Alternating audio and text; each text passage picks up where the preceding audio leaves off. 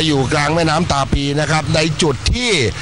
จะเห็นเนี่ยนะฮะตอนนี้อยู่บนเรือของตำรวจน้ำนะครับ เมื่อวานนี้พยายามจะหาทางเข้าไปที่บ้านปากบางเนี่ยนะฮะแต่ปรากฏว่าไม่มีหน่วยงานไหน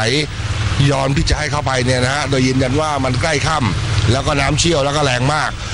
วันนี้ลองมาอีกทางหนึ่งเนี่ยนะท่านผู้ชมฮะอยู่กลางแม่น้ำตาปี จะเห็นนะฮะว่า นี่เรือจอดอยู่เนี่ยนะฮะ น้ำแรงขนาดไหนเนี่ยท่านผู้ชมฮะก็คือจะแกว่งแกว่งอย่างนี้ตลอดเวลา นี่คือสะพานซึ่งเรือตำรวจน้ำเนี่ยก็จะไม่สามารถที่จะลอดใต้สะพานไปได้ วันนี้ถึงแม้น้ำจะลดระดับลงแล้วนะฮะจากเมื่อวันก่อนเนี่ยสูงขึ้นอีกประมาณเมตรกว่าๆวันนี้ลดลงมาบ้าง แต่เรือตำรวจน้ำก็ยังไม่สามารถที่จะฝ่าลอดใต้สะพานนี่เป็นสะพานจุลจอมเกล้านะครับท่านผู้ชมฮะและอีกด้านหนึ่งที่คู่ขนานกันก็คือสะพานรถไฟนะฮะ ก็จะเห็นเนี่ยนะฮะถ้าเราผ่านด้านนี้ไปเนี่ยก็จะเข้าสู่จุดที่เป็นชุมชน หรือว่าเทศบาลเมืองท่าข้าม ในนั้นเนี่ยนะฮะเมื่อวานนี้ถ้าเรามองจากทางด้านของฝั่งที่เราเจาะเข้าไปในถนนลาดบำรุง ก็จะคู่ขนานไปกับแม่น้ำตาปีเนี่ยนะฮะวันนี้จะพยายามที่จะมองไปอีกด้านหนึ่งนะฮะจากมุมแม่น้ำซึ่งระดับน้ำด้านในเนี่ยจะเห็นว่าด้านที่ติดแม่น้ำ ยังลดระดับลงน้อยมากครับ นี่เป็นแพอาหารใช่ไหมแพท่องเที่ยวอะสวัสดีครับ ตรงนี้เรียกอะไรอะเฟซฟูดสองแควซีฟู้ดเหรอไม่ขายเหรอจะอยู่บริเวณเพจข้างล่างขายหมดเลยมิดบังคาเลยดิตรงนี้เรียกว่าอะไรปากบางป่ะมาบนร้านค่ะปากบางใช่ไหมอ่าขอขึ้นไปหน่อยได้ไหม อ้าวหวัดดีหวัดดีโอ้โหโอ้โห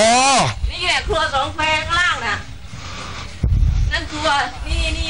นี่ที่ขายอาหาร อันนี้ก็เป็นร้านร้านอาหารหมุนผ้าไม่อ้าวรถเองอยู่นั่นอาจจะรเป็ถนเม็ดแล้วนะรถเองจอดท่านผู้ชมฮะนี่ขึ้นมาบนแพนี่เรียกว่าแพอะไรเนี่ยพี่คุณพี่ สองแควสองแควเชิญทางนี้หน่อยเร็วสองแควซีฟู้ดไม่ขายเหรอกินอาหารทะเลหน่อย ตอนนี้มีแกงส้มวาซาบิกับมันเออยังอุตส่าห์จะขายนะทำกินกันเองใช่ไหมค่ะเรากินกันนี่เองอะไรเนี่ย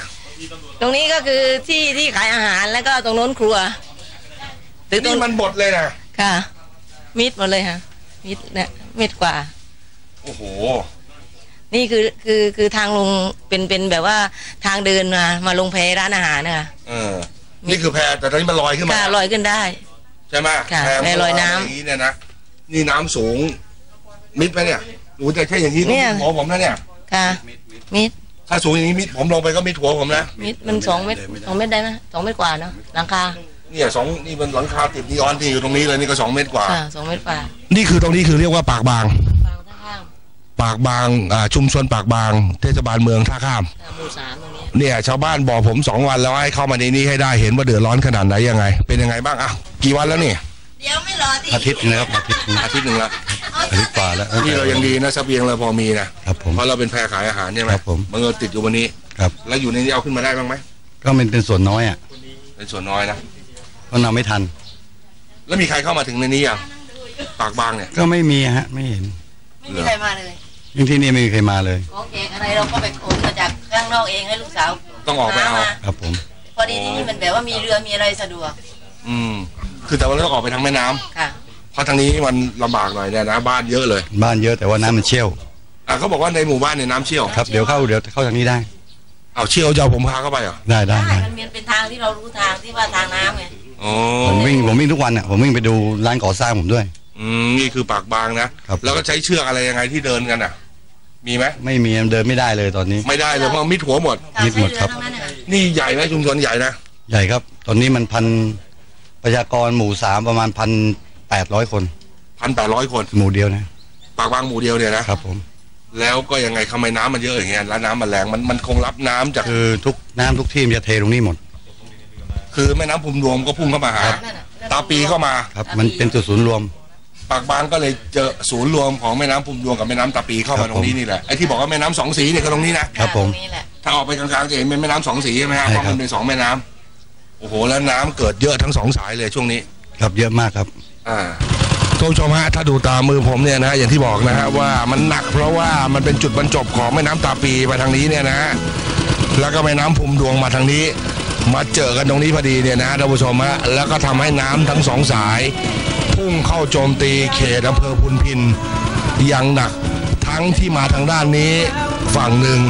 แล้วก็ไปทางด้านโน้นอีกฝั่งหนึ่งชาวบ้านที่นี่ทุกคนยืนยันตรงกันนะครับ ว่านี่เป็นความเสียหายหนักที่สุดในประวัติศาสตร์ของอำเภอพุนพิน ขนาดเมื่อปี 2531 ซึ่งเกิดน้ำท่วมใหญ่ที่สุดครั้งหนึ่งในภาคใต้พุนพินก็ยังไม่เคยสาหัสถึงขนาดนี้ครับ นี่แหละที่เราจะเข้าไปในบ้านปากบางหนึ่งนะฮะมันจะมีปากบางหนึ่งปากบางสอง แล้วก็หมู่บ้านสินทรซึ่งเป็นหมู่บ้านที่ค่อนข้างจะมีฐานะ และนี่คือมันแรงอย่างนี้เหรอพี่ อย่างนี้แหละใช่ไหมฮะน้ำมันเป็นอย่างนี้แหละใช่ไหมเขย่าอย่างนี้เนี่ยนะฮะ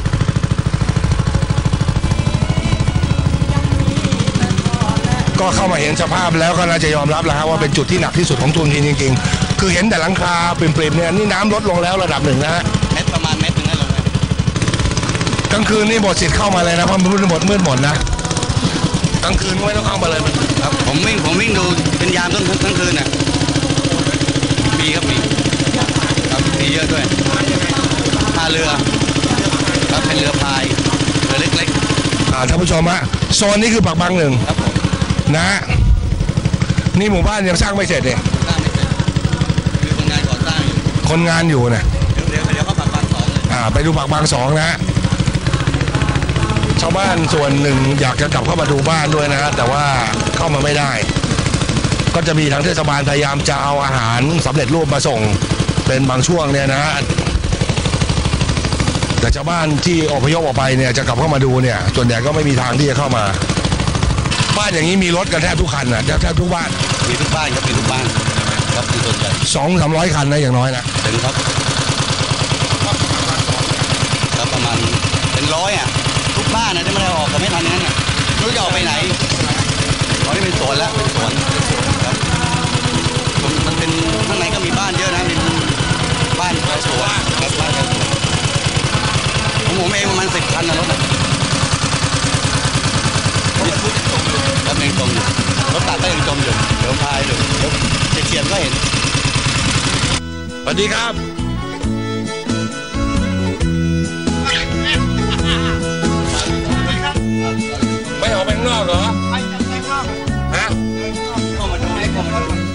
ดูเหรอ เป็นไงมีอะไรหายไหมเสียเสียหายไหมไม่มีนะ โอเคทำใจได้ยังอะลุงทำใจได้แล้วนะทำไมอะ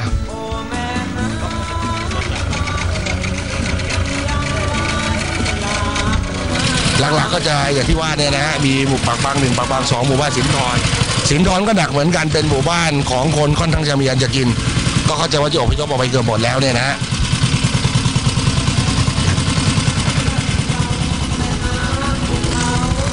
นี่รถอะไรเนี่ย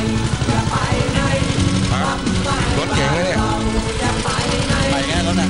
โอ้โหนี่คันเนี้เนี่ยยขวามือเนี่ยเชียบเลยอะมาเอี่ยมเลย นี่ของเราใช่ไหม สองข้างเลยเหรอครับถนนโอ้ไม่มีอะไรเหลือเลยเสียไหมมันมันใช้ได้ไหมทั้งหมดเลยของประตูเลยแตกนี่เห็นไหมสองข้างเลยเหรอของข้างของข้างเนี่ยโอ้รถสิบล้อสิบล้อรถตัดอะอ๋ออยู่นี่หมดเลยเนี่ยสิบล้อตามปีครับสรุปประมาณความเสียหายสักเท่าไหร่เนี่ยของผมเองอะเหรอไม่ต่ำกว่าสามล้าน บ้านหกหลังผมโดนนะยังมีเขาว่าไฟสองหลังไม่ได้เก็บของเลยมาช่วยชาวบ้านอยู่วันที่น้ำใหญ่กว่าตั้งแต่ตีสี่เป็นหกโมงเย็นลืมของตัวเองชาวบ้านติดไม่มีเรือดังนั้นผมมีเรืออยู่สามลำก็เอามาช่วยเขาหมด ลืมตอนนั้นมีวันนึกได้ว่าบ้านอยู่ที่เขาว่าไฟสองหลัง ครับไม่เหลือเลยตรงตรงนี้สามตรงนี้สาม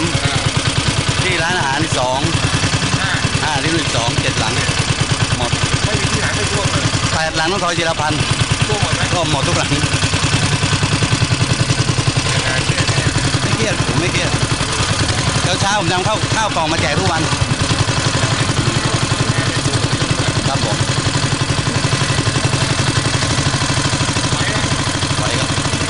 เส้นนี้ที่เข้ามานี่เรียกว่าเส้นอะไรฮะเส้นบางอ้อเส้นบางอ้อหมู่บ้านสินทรอ้อหมู่บ้านสินทร น้ำลงไปนี่มิดหัวผมนะเนี่ยสองเมตรขึ้นนะเนี่ย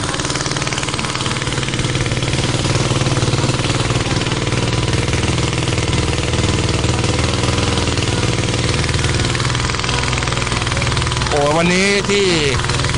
โซนนี้เนี่ยท่านผู้ชมฮะน้ำยังลึกมากเลยนะฮะลงรถช้ามาก รถช้ากว่าที่อื่น หมู่บ้านสินทรพุนพินนะฮะ ก็ดูระดับสายไฟฟ้าก็คงจะพอเห็นนะว่าตอนนี้เราสูงขนาดไหนยังไงเนี่ยนะฮะระดับน้ำไม่ต่างอะไรจากเมืองบาดาลเลยนะพี่ก็ยังบอกว่า ไม่มีตรงไหนที่เป็นดินเลยนะคือมันเป็นน้ำทั้งหมดก็คือเมืองบาดาลนี่ดีนี่เอง หมดจริงๆฮะหมู่บ้านนี้ลึกกว่าสองหมู่บ้านนั้นด้วยซ้ำไปร้อยกว่าหลังคาเรือน เป็นร้อยร้อยหลังคาเรือนเนี่ยนะฮะลึกกว่าสองหมู่บ้านก่อนหน้านี้ คือปากบางหนึ่งปากบางสอง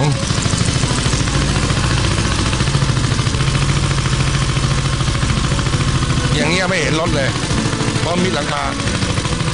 นะมิดหลังคารถไม่เห็นรถเลยสินทรนะขนของเนี่ยแทบจะขนไม่ได้กันเลยอะที่นี่ครับเพราะมันเพราะมันเอาเรือมารับไม่ทัน ไม่ได้ขนเลย ไม่ได้ขนเลยเพราะว่าเรือเรือมารับไม่ทันกันครับเดี๋ยวคุยหน่อยบ้านอยู่ไหนอะสินทรเนี่ยเหรอสวัสดี เข้าไปดูบ้านกลางวันก็จะเข้ามาดูบ้าน เดี๋ยวเย็นๆก็จะออกไปเพราะมันอยู่ไม่ได้ บ้านอยู่ส่วนระดับ ฐานะในคนฐานะ ที่บ อกอพยพออกไปอยู่ในเมืองสุราษฎร์อะไรพวกนี้ส่วนใหญ่ครับปากบางสามสินทรหมู่บ้านปากบางสาสามเลยเหรอปากบางสองปากบางสองแล้วก็หมู่บ้านสินทรปากบางหนึ่งตอนนี้ไม่มีใครอยู่เลยนักคนเดียวครับไม่มี นอกจากร้อนหนาแต่แดดตรงนี้เนี่ยนะผมไม่ตกมาสองวันแล้ว ร้อนมาก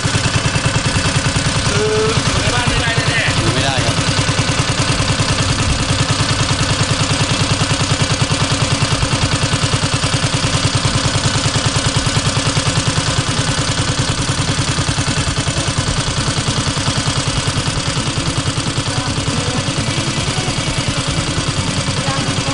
ๆมันลดลง ไปสักเท่าไหร่แล้วพี่ ประมาณเม็ดหนึ่ง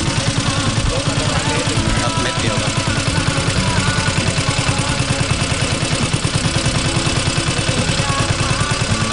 รถข้างในข้างนอกข้างในก็รถมันเอาออกไม่ทันรถเป็นร้อยเลยนะร้อยรถยนต์เป็นร้อยร้อยๆคันนะเอาออกไม่ทันเลย มันเร็ว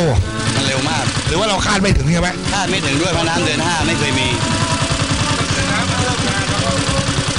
ครับ มันก็ครับมันไม่ท่วมมาครั้งนี้มันไม่เคยท่วมไงมันเคยท่วมปีใหญ่สุด อ้าวว่าไงใหญ่สุดก็ปีสามหนึ่งสามถึงร้อยกว่านี้ไหมน้อยกว่า เมื่อสักครู่ปีอยู่ในบ้านอยู่ครอบครัวหนึ่งนะตะเกียอยู่ด้านโน้นมาเก็บของมาเก็บของอยากจะเข้ามายังเข้ามาลำบากเลยนะ